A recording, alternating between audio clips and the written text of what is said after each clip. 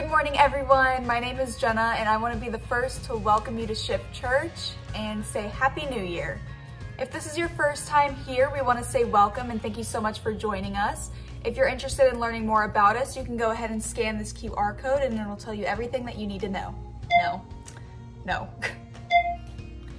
January 30th is our last Sunday in the theater, so say goodbye to the amazing recliner chairs.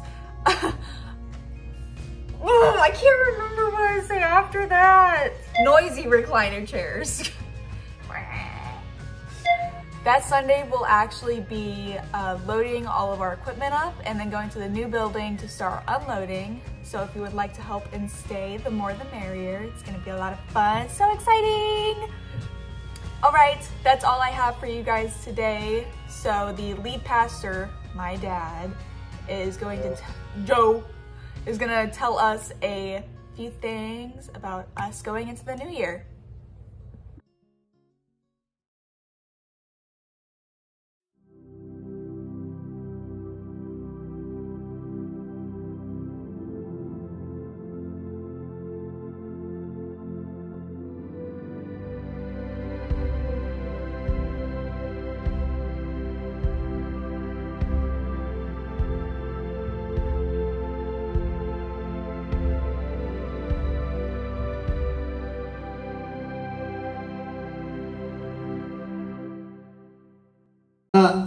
Can you go ahead and show that? Uh, this is Turtleton, Oklahoma.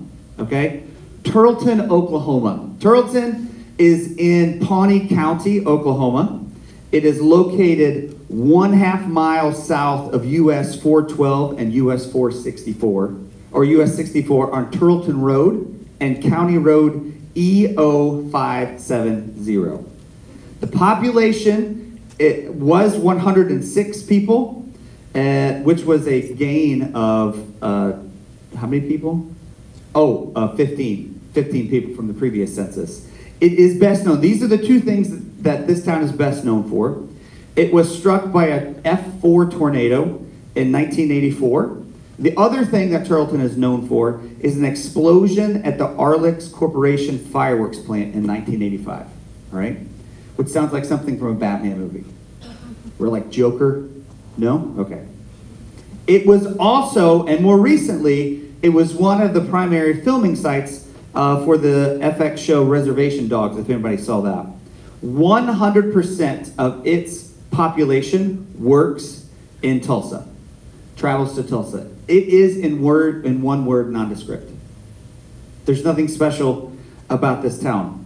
But something special happened in this town on February 15th, in the year 1998, in the late 19th century, 1900s, not 19th century, in the late 1900s, which is what the kids are calling it these days. So it's the late 1900s. In 1998, something special happened in that town. Two teenagers stood on the porch of a trailer in Turtleton, Oklahoma, on the road. Yes, two teenagers stood there, and just after midnight, they shared their first kiss and fell in love. Well, uh, if I'm being super honest, that young man fell in love. The, the young woman took some convincing. Uh, but I knew, I knew in that exact moment that um, I would marry Tori. Um, I, I knew right away I fell in love instantly. I knew right then and there. And yes, those are blonde tips. I don't know if you can see them. But you know, honestly, love is a funny word, right? Love is a funny word because I can say that I love my wife, but then that I could also say I love my kids, but that, that's different, right? I can also then say that I love pizza, and then I could say I love the Dallas Cowboys, but all, all of those would be different definitions of the word love. It carries lots of different meanings, uh, lots of different weight, right? The weight when I say I love my wife is different from I love this thing. It is a different weight. It's a weightier word. Um, and you, so you get my drift. And so when we say that we are called to love, we are called to this radical kind of love, we have to answer, answer the question, what does the word love even mean today, right? So in Luke's account, in Luke's account of Jesus' life, we've got the four gospels, right? Just a quick review. Gospel literally means just a proclamation of good news. There is a new king and a new kingdom. And doing so was subversive because Rome had its own gospel that Caesar was God. So then for these guys to come up and say, that's great, but we've got this other gospel, was completely subversive. But in Luke's account of this, he talks about this idea of love and what it actually means. And in chapter 10, we see, we see Jesus answering a question where this religious leader, this expert of the law, comes up to him and it's like, hey, what must I do to inherit eternal life? Now, when we read that in our culture and context, especially in today's church, we read that and think, what do I do to get into heaven? But that's not what he was asking. If you put it back into its context, he's not asking, what do I do to live forever? Because that's not, that's not what he's asking. He's asking, how do I have a certain kind of life? How do I live a life of certain weight, of certain depth, of, of, um, of meaning?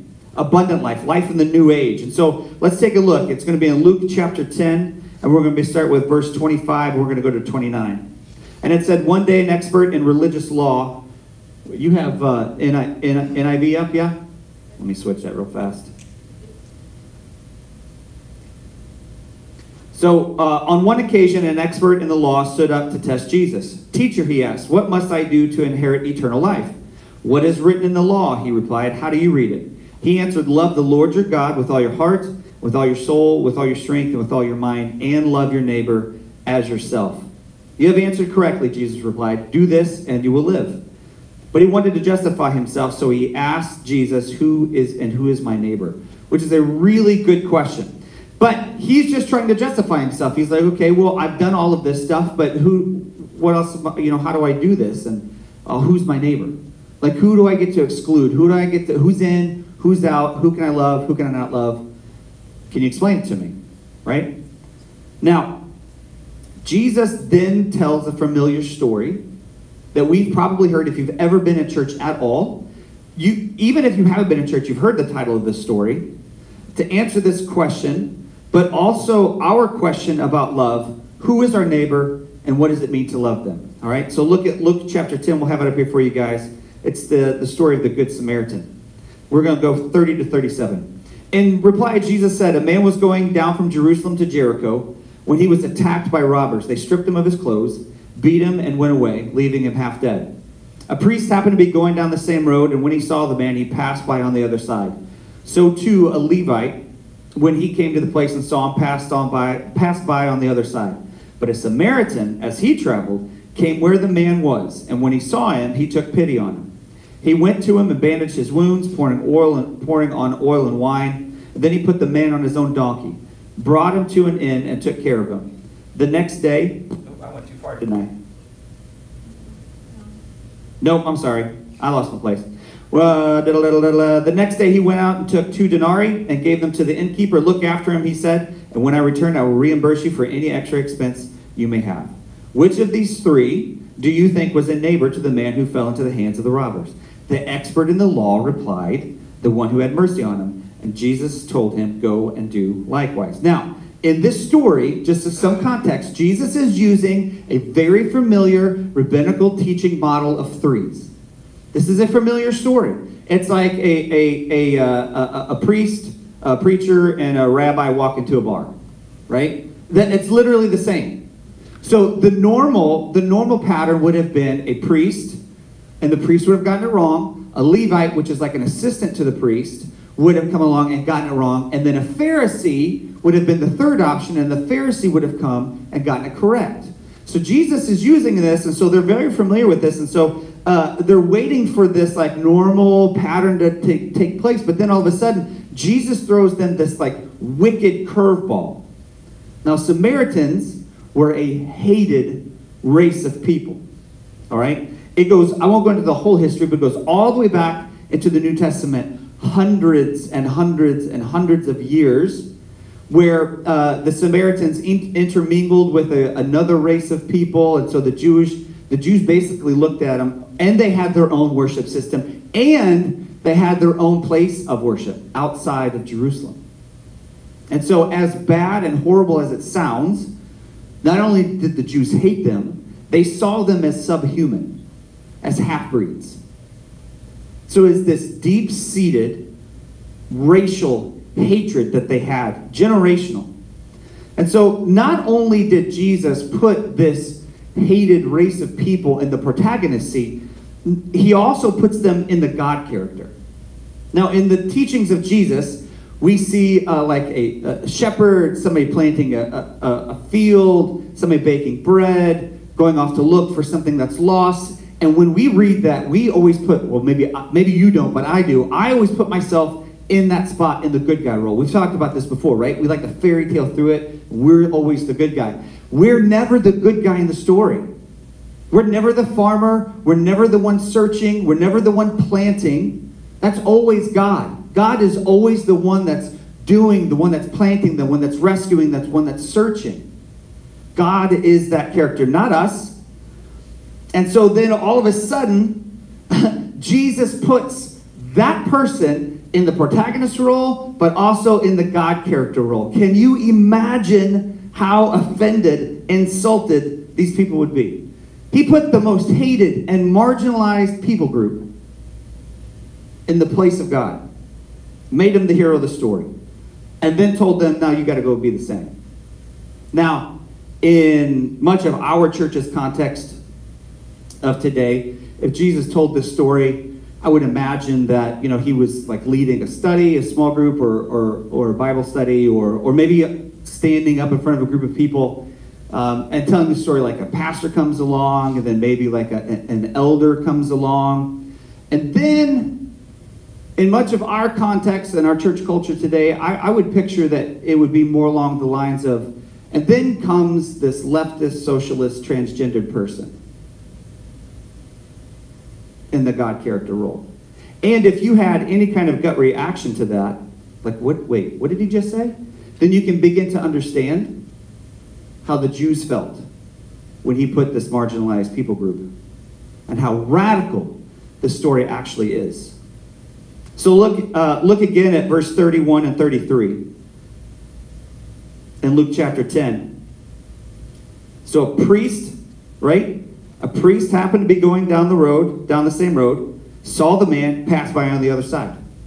So to a Levite, when he came to the place and saw him, passed by on the other side. But a Samaritan, as he traveled, came where the man was, and he saw him, and he took pity on him. The, the priest saw him, walked way to the other side. The Levite was a little bit closer, which he was. It says that he came to the place, which implies that was just a little bit closer to where the priest was, but then the Samaritan came up to him. And it says in the Greek, it basically means like right on top of the Samaritan. And the radical part of this, of this, of this teaching that we're getting into is that we have to be not in proximity of our neighbors, but to love our neighbors means we must be with our neighbors. The priest and the Levite were in proximity.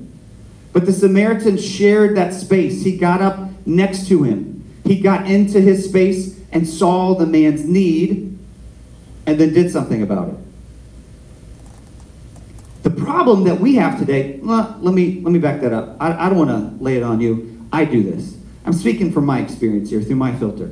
The problem that I see in my life is that when I see somebody that's on the side of the road or uh, in the place of this person that's beaten and robbed, I tend to turn it into an issue. Well, I can't do anything about the issue of homelessness. What am I going to do? I, I can't fix this. And yet, that's not what Jesus is calling us to. He's calling us to get into this person's space. Now, I'm not advocating to, to help when it hurts, right? Because sometimes when we try to help, it actually ends up hurting the person. I'm not advocating for that. What I am saying is that Jesus is calling us to stop keeping people at an arm's length and start joining them in their suffering. And the church is, is, is just as guilty of this. We reduce people to issues and then we argue about how to fix the issues. If we'll write a big enough check, we can write a check to that village and they'll get food and then we've done our part. And yes, that check needs to be written so those people eat, but there's so much more systematically that can be done. We cast judgment on people, right? We look at them standing on the side of the road or, or uh, having difficulty paying their bills, and we'll say things like, well, they're just too lazy to work. They, they made their own bed. Maybe. And, but nobody asked those questions. The Samaritan didn't ask that question of the man traveling to Jericho, which was a well known road and a well known road known for robbers. He didn't stop and ask, well, why, why would you travel alone, you moron? You got what you got. I mean, duh. You knew this was going to happen. Why would you do this?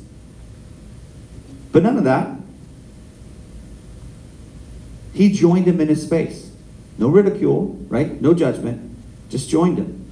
And we're called to love people. And we can't love people if we're in just proximity to them. We can only love people when we are with them. So the question is, is who are you called to be with? Are you with them? If not, then why not? And then I would say, what do you need to change today to make that happen? So you can't love your neighbor if you're not with your neighbor. To, to love our neighbor also means this to love our neighbor means we must yearn for our neighbor. Okay, I'm going to ask a really weird and random question. I can probably guarantee you nobody's ever asked you this sitting in a church service. All right? What comes to mind when I say the word bowels? you don't have to answer that out loud, Barack. Not towels, bowels. And he, I was gonna say, don't answer, just think quietly about it, but then my son was like, nope, here it is. What if I were to tell you that to love your neighbor means that you were to yearn for them with your bowels? It is, isn't it? But I'll tell you why. All right? Look at that verse 33 again. But a Samaritan, as he traveled, came where the man was, and when he saw him, he took pity on him. All right? Now, the word that, that is written here for, for pity or compassion is in the Greek, splagnizomai. Yep. That's the Greek word, and that is how it's pronounced in English. Splagnizomai. All right? Splagnizomai literally means to yearn with your bowels. In the first century, the gut was the center of empathy and love and compassion. So it's like this gut reaction, right? Like if you if you see something and you know you have to do something about it, you have a gut reaction. It's not any different. They thought that the seat of all of those emotions were in the gut, in the bowels. And so splagnizomai literally means to yearn with your bowels. And that word is only used in the New Testament, it's only used in relation to Jesus. Every time Jesus saw somebody or saw the Israelites and had compassion on them, it's the word splagnizomai. The only three times that it happens in the New Testament that it's not Jesus is where Jesus is telling a story. He's talking about a, a judge that forgave a lifetime of debt. He took pity on the person. It's the it's the uh, the the father, the prodigal son. When he sees them far off, he sees them and has compassion and runs to him. Splagnizomai. All right, and then here, when the Samaritan saw the man and took pity on him, had compassion. Splagnizomai. And here's why that's important. Jesus isn't calling us to fix the system in that moment. Right? Like, absolutely, we should advocate for systematic change. If, if there's oppression anywhere, there's oppression everywhere. So, absolutely, Christians should be all about dismantling systems of oppression that keep our brothers and sisters in their place. We should absolutely advocate and fight for those things. But in that moment, that's not the job that Jesus is calling us to.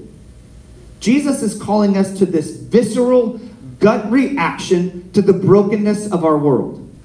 Splagnizomai. He's calling us to love them with this, like, I just can't not do something. I can't leave this place without doing something. I know this doesn't change the world, but I'm going to do something for this one person. It's a gut reaction that moves us from compassion to action. And Jesus is saying that to love our neighbors, we have to be with them, and not only not only must we be with them, but we must be moved into action for them. To love others means that we have to be with and for them. So to love radically means that we have to yearn with our bowels. So when we talk about love shift, right? That's what we are talking about. That we're it's it's it's about doing something tangible to better the other situation. We're talking about tangibly affecting the well-being of others. So when we talk about loving people, it's not like this kumbaya moment where we're going to sit around a campfire and hold hands and pretend like everything's okay. It is very much something. We're doing it. To do that, you guys, to, to fight for the well being of others, then we have to be ready to listen. Because we have to be ready to hear the other.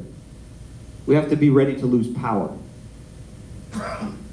especially you know like if in my again my filter in my case as a white straight christian male in the united states i have all the seats of power all the seats of privilege all of them reside right here. And so if i'm going to fight for the other that means that i have to be ready to relinquish those seats of power that were just given to me and sometimes that feels bad or feels gross because then it feels like, well, I didn't do anything wrong, uh, and why are you coming at me? Yes, I could look at it that way. Or I could look at it as, I have been blessed with this so that I can bless others, right? So that I can be in relation with them and I can yearn for them this way. And I have the tools to do so. So I have to be for you and I have to look after your well being the same as I look after mine. Now look here. And if that wasn't radical enough, did you notice how Jesus ends the story? Look at verse 36. Which of the, he asks the, now don't forget he's talking to this lawyer. Which of these three do you think was a neighbor to the man who fell into the hands of the robbers? Now listen to what this guy says. The expert in the law replied, The one who had mercy on him. Could not even bring himself to say the word Samaritan. It was that guy that did the thing. He couldn't even say the word Samaritan. All right? Hear me when I say it again that Jesus took the most hated, the most marginalized, reviled people group, and he made them the hero, the God character. Now, just so you understand again how radical this really is, there were only two schools of thought when it came to love your neighbor. And it was propagated by two different rabbis. Hillel, which was a more conservative rabbi, who said, Love your neighbor means your fellow Jews, but not the Romans. Absolutely not, not the oppressor. Shammai said, oh, I flip, I flip flop those. Shammai was the conservative one. Hillel was the more liberal one, if you want to put it in those terms. He said that, of course, the Jews, your fellow Jew is your neighbor, and even the Roman oppressors are your neighbor. You're called to love them. But nobody, and I mean nobody, would say that the Samaritans were a neighbor. They both said, absolutely not. We absolutely do not love them. And Jesus blew both of them out of the water with his kind of radical love. So to love our neighbor means that we have to let go of our preconceived notions of who our neighbor actually is. And the Jews would have been so offended at this. And I think that's part of the point. Jesus is telling them and telling us that there are zero limits to who our neighbors are.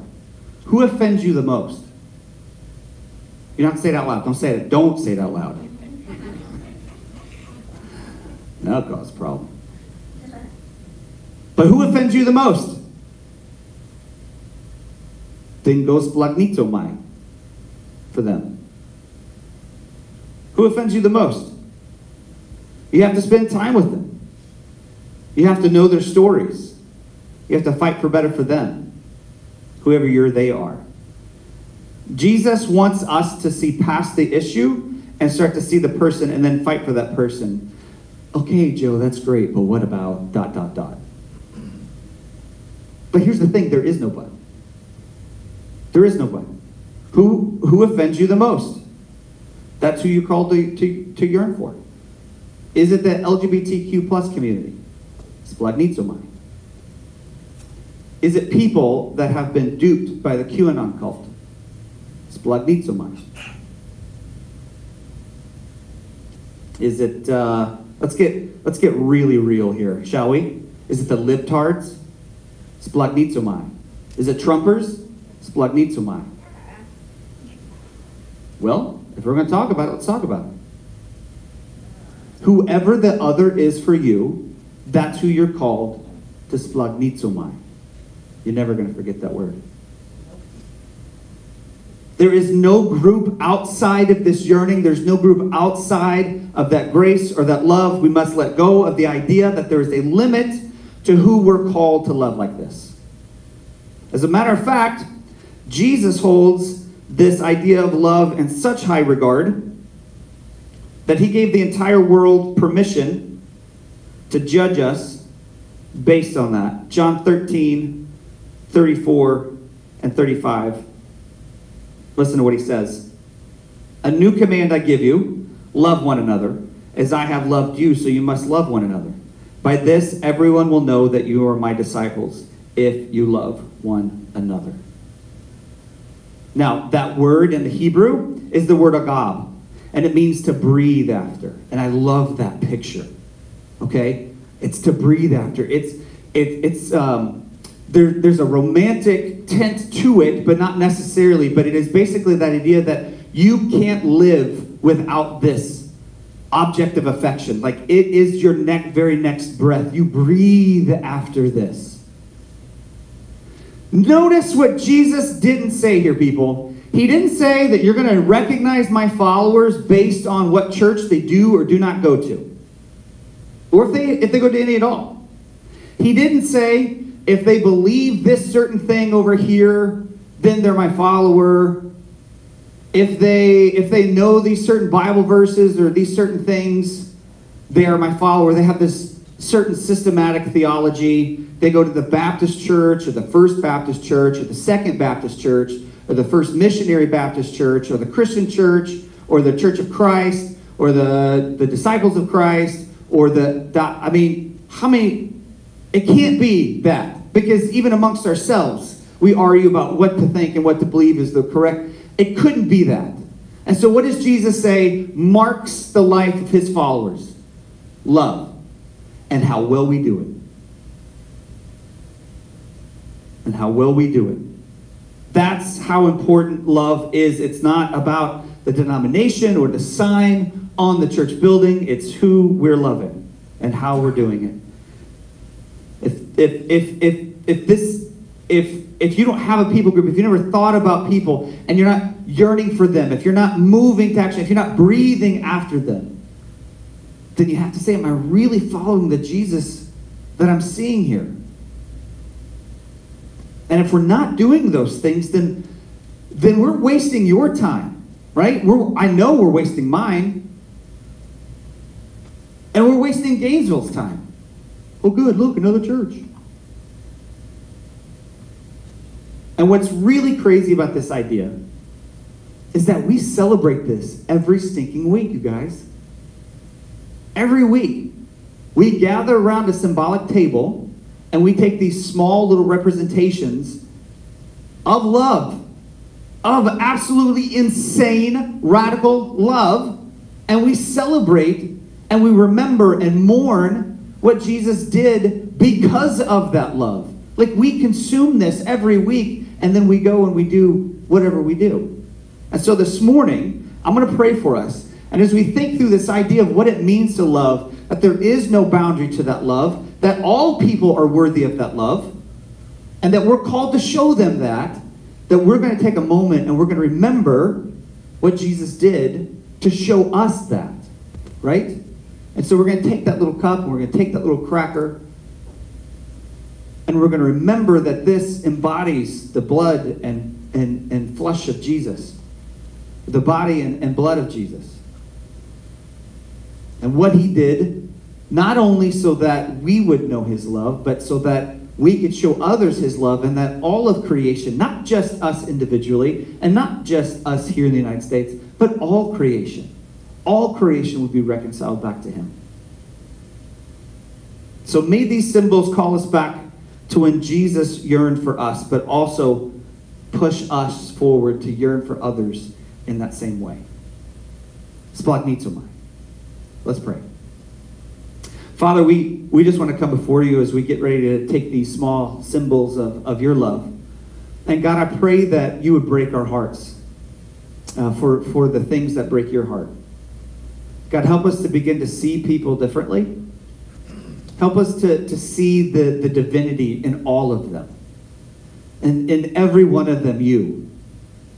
God, help us to stop seeing these labels that we have put on people or that have been put on them and start seeing you in them. God, I pray that you would that you would convict me of those groups that I just don't want to spend time with. And I, I pray the same thing for all of us. I pray that you give us opportunities to, to share, table with them, to hear their stories, to lay down our guard of trying to be right versus wrong or trying to defend a certain ideology, but just get to know people. And God, I, pray that we would be a place of the third way. Lord, we know that you gather around tables with, with a tax collector and a, and a, um, a freedom fighter. And you love them just the same. And so, God, help us to do that. Give us opportunities to practice that. Forgive us when we fall short. But God, I pray that you would work in all of it. And so, Lord, right now, as we take these small symbols, God, I pray that we would remember your splanchnizomai for us, your compassion for us, and then help us to give that to others. In your name we pray. Amen.